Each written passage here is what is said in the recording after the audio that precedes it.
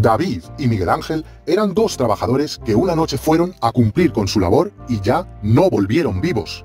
Eran guardias civiles y murieron en acto de servicio.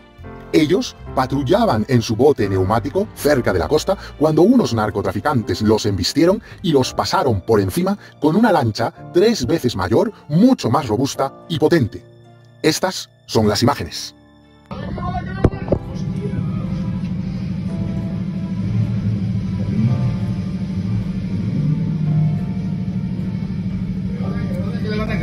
Que no dado de milagro, tío, no dado de milagro. Le va a dar, lo van a tirar, eh.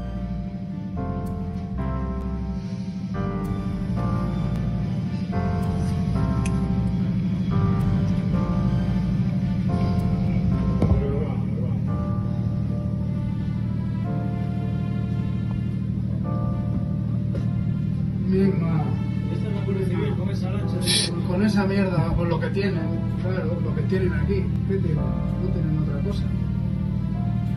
Lo que tendrán aquí, claro, no habrán venido. ¿no? Mi madre. Dios mío de mi alma, eh.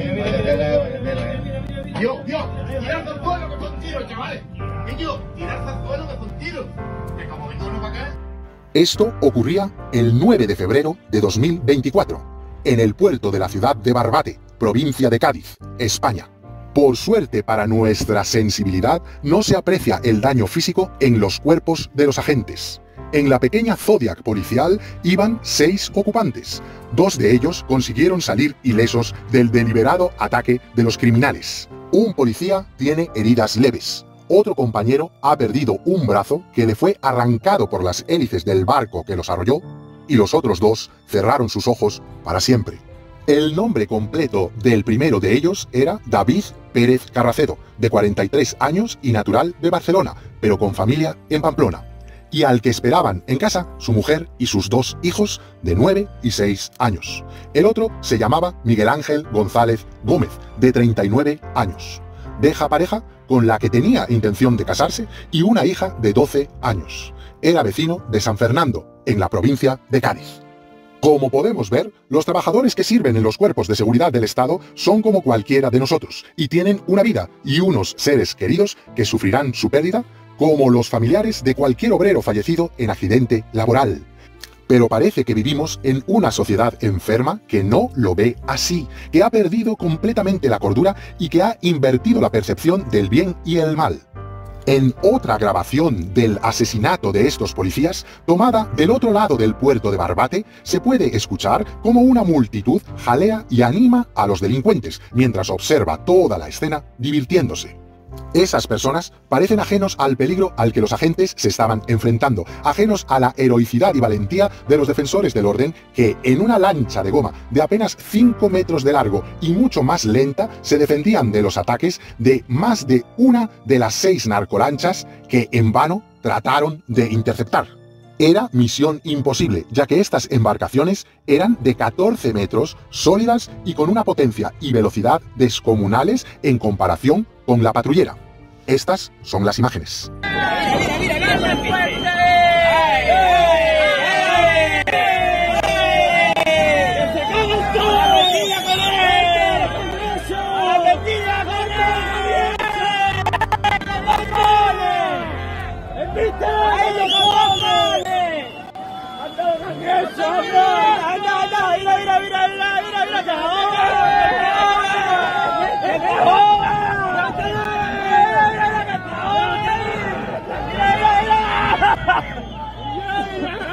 ¡Que me lo voy a ahogar! ¡Que lo voy a ahogar! ¡Ya no ve! ¡No ve que cachondeo! ¡Dale otra vez! ¡Tira otra vez, pito! ¡Dale otra vez! Mira, mira, mira cómo le mete conmigo, Quillo, Quillo, Quillo, Quillo, Quillo. Que los matan, Quillo, que los matan. Que ese fondo por mi madre, Quillo. Este no tiene cojones. ¡Es cojones, tiene, Quillo. Tiene aquí el cachondeo, ni esta lancha de mentira. ¡A la piolín! ¡A la piolín! Mira, mira, mira, mira, lo comió, lo comió, lo comió. La he dado, la dado, la dado. La he dado, eh, la he dado, eh. ¡Venga ya, maricones! Con una sociedad así, no es de extrañar que tengamos el gobierno que tenemos. De una sociedad sin ética pueden surgir gobiernos a su imagen, sin necesidad de ningún amaño electoral. Y ese es nuestro caso. Tenemos un gobierno dirigido por el amnistiador Pedro Sánchez que ya indultó a políticos independentistas catalanes en 2021 después de haber sido condenados por haber tratado de destruir la unidad de España en 2017. Y ahora quiere amnistiar a muchos que quedan por condenar, como Carles Puigdemont, huido de la justicia. Otro personaje infecto es el actual ministro del Interior, Fernando Grande Marlasca, responsable indirecto del fallecimiento de estos agentes por no haberlos dotado de medios suficientes y por haber tomado decisiones nefastas. Hasta septiembre de 2022 estuvo funcionando con mucho éxito el OCON Sur, siglas de Organismo de Coordinación de Operaciones contra el Narcotráfico del Sur de España. Este cuerpo de élite puede presumir de haber detenido a más de 100.000 personas y de haber incautado 1.400 toneladas de muchas drogas. Marlaska decidió disolver este cuerpo especial y aún no se ha aclarado el motivo, aunque todo apunta a un elevado coste. Desde entonces, el narcotráfico ha ido en aumento tomando el control en la zona. La Guardia Civil menos especializada se fue viendo cada vez más desbordada, pero a esto hay que añadir el abandono a nivel de medios. Desde los cuarteles de esa zona se advirtió con informes al Ministerio del Interior de que faltaba material o estaba en mal estado. Un ejemplo que ha sido fatal para los protagonistas de esta historia es que las lanchas patrulleras mayores de la Guardia Civil estaban averiadas, de ahí que los seis valientes pilotaran una embarcación tan inerme, Aún no ha trascendido quién es el imprudente mando alto que ordenó tan temeraria intervención, mandando a sus hombres a morir. El ministro Marlasca, a pesar de no ser bienvenido por las familias de los fallecidos, fue al velatorio de Miguel Ángel el día 10 de febrero a imponerle una condecoración. La hermana de este agente deseaba encontrarse con el ministro para comunicarle directamente su descontento. Ella ha contado a los medios cómo dos personas desconocidas, pero que parecían agentes, se acercaron a ella y la invitaron a tomar un café fuera del velatorio con la aparente buena intención de que se relajara. Justo en ese momento hizo su entrada el ministro y se fue poco antes de que ella regresara. Ella cree que estas dos personas eran agentes del ministro que realizaron una treta para que ella no pudiera protagonizar un episodio mediático que hundiera la imagen del ministro. Sea una casualidad muy precisa o una estratagema política bien pensada, la cuestión es que el ministro en esa ocasión se libró de un bochorno merecido. Pero no se libró de este bochorno en el funeral del otro agente, David Pérez, en la ciudad de Pamplona el domingo 11 de febrero. Su viuda estuvo muy atenta y se interpuso entre el político y el féretro de su marido, diciendo que se negaba a que él fuera el que le pusiera la medalla póstuma. El poco respeto mostrado por los muertos y la familia por estos asquerosos mandatarios y la idolatría a sí mismos es tan enorme que Marlaska lo siguió intentando. Cuatro veces tuvo que impedirlo la mujer del héroe de Barbate hasta que por fin consiguió su objetivo y tuvo que ser un mando policial quien colocara la insignia. Los congregados en la iglesia aplaudieron a la viuda y Marlaska hubo de retirarse contrariado. Se pide su dimisión algo que él ya ha rechazado rotundamente. No sé qué más fechorías tiene que cometer este gobierno para caer. Por muy locas que estén las sociedades occidentales de principios de este siglo, poco a poco irán reflexionando cuando el desastre vaya aumentando. A pesar del relativismo que el posmodernismo y los movimientos progres quieren imponer para que la ciudadanía ya no sepa lo que está bien o mal, los obreros especialmente despertarán y ya están despertando, gracias al hambre y la carestía que devuelven siempre la inteligencia. Los integrantes de la falsa izquierda oficial han llenado de mugre nuestro lado ideológico, han abandonado a todos los trabajadores honestos y ayudan con sus políticas a delincuentes, como demuestra su intento de ley de amnistía. Esto hará que los proletarios nos abandonen y no quieran votar por nosotros. La derecha, por eso, poco a poco se va haciendo con su voto. Si queremos volver a ganarnos su confianza, lo primero que tenemos que hacer es barrer nuestra casa para que brille de virtud. Todos estos malditos progres no tienen cabida en una sana izquierda. Yo, por mi parte, Quiero ser muy diferente a este gobierno woke que despilfarra nuestros impuestos en estupideces y luego abandona a los que de verdad trabajan por España. Este vídeo no es noticia. Todos los españoles ya conocéis lo que ha sucedido, pero quería contribuir a humanizar a estos trabajadores a los que injustamente muchos demonizan. También quiero dar voz a sus seres queridos y sus peticiones para que esto no vuelva a ocurrir.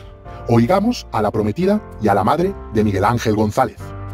Yo voy a hablar en, en nombre de mi pareja, que prácticamente estaban más protegidos los propios narcos que ellos, por las medidas que, no, que tenían, que no tenían ningunas, porque ni siquiera podían utilizar sus armas, porque luego habría problemas y cuando pasó esa noche no se pudieron ni defender y ellos sabían perfectamente que iban a morir. Esto debería de haberse podido contar mucho antes que sirva que se haga lo que sea ya para que no haya más Miguel Ángeles muertos. Miguel Ángel sabía desde que estaba allí y me lo decía a mí que cualquier día podía pasar algo cualquier día podía pasar algo. Nos íbamos a casar y, y, y su, su, su, máxima preocupación era hacerlo cuanto antes porque tenía siempre el pensamiento de que él vivía sabiendo y pensando que hoy estamos aquí y mañana no sabemos si vamos a estar o no. Esa era la situación que había allí. La suya, la de sus compañeros. Ese sentimiento lo tenían a diario. Yo ya he perdido todo, o sea, yo ya no tengo nada más que perder porque lo que tenía lo he perdido, me lo han quitado, no lo he perdido, me lo han matado. Me lo han matado. Entonces, que se sepa, que se encuentre quién dio esa orden, de dónde viene y que vayan a por esas personas. A por los narcos, por supuesto, pero repito, el problema de los narcos va a seguir siempre ahí. Soy Francisca María Gómez Pantoja, la madre del guardia civil fallecido Miguel Ángel González Gómez. Solo quiero dar la voz a mi hijo, que me lo han asesinado. Llevaba su bandera, la llevaba en alto, siempre, siempre defendió a su país, ante toda adversidad. Y ahora cumpliendo con su deber y con su trabajo, le quitan la vida. No hay derecho que a una madre le hagan esto. Ni a una madre, ni a nadie. No hay derecho que por falta de medios haya pasado esto. A mi hijo lo montaron en un flotador prácticamente. Prácticamente era un flotador con, contra una narcolancha que le pasó hasta tres veces por el lado, hasta que le pasó por encima y me lo quitó. Solo pido justicia, justicia para él y para el otro chico David. Quien sea madre se puede imaginar el dolor y la pena tan grande que llevo dentro y que me va a acompañar el resto de mis días. Un beso allá donde estés, querido hijo. Sé que algún día notaré tu presencia, porque sé que no me vas a abandonar. Sé que no me vas a abandonar. El último mensaje que me mandó fue, no sabes cuánto te quiero, mamá. Solo llevaba tres meses en ese destino y estaba muy contento. Solo quiero que se haga justicia, que los que han hecho esto no se queden impunes y que refuercen el estrecho. Ellos no tenían que haber salido en una zodia, tenían que haber salido en una lancha de la Guardia Civil. Entonces no hubiese pasado esta desgracia tan grande, Dios mío que sirva por lo menos la muerte de mi hijo para que esto no vuelva a suceder, que no muera ningún guardia civil más ni ningún cuerpo del Estado más por las imprudencias de un Estado que no les pone los medios para defenderse. Un beso mi hijo, mi niño, mi niño chico, un beso allá donde esté. Aquí queda este vídeo como pequeño homenaje para el futuro quedará que al menos un izquierdista en España apoya la labor de militares y policías. No sé si muchos son conscientes de que estas personas son unos trabajadores corrientes como nosotros, pero a la vez muy especiales, porque ningún sueldo puede cubrir el sacrificio y deber que demuestran cada día. Realizar bien su trabajo consiste en poner su vida en juego todos los días. Algunos de ellos la pierden destrozando con ello la de sus seres más amados por haber defendido la de personas a las que ni siquiera conocen. El lema de la Guardia Civil es todo por la patria y los caídos en Barbate son prueba de que esas palabras son literales. Me da igual lo que me digan en este periodo donde los infiltrados en la izquierda la han vaciado de honra y valores. Yo apoyo a los trabajadores del ejército y fuerzas de seguridad del Estado Si no empatizara con ellos y no reconociera su honrosa y arriesgada labor, yo no tendría legitimidad para calificarme de izquierdas. Este vídeo se titula Los caídos en Barbate, pertenece a la sección Hablando desde la entraña y este canal se llama Un patriota de izquierdas.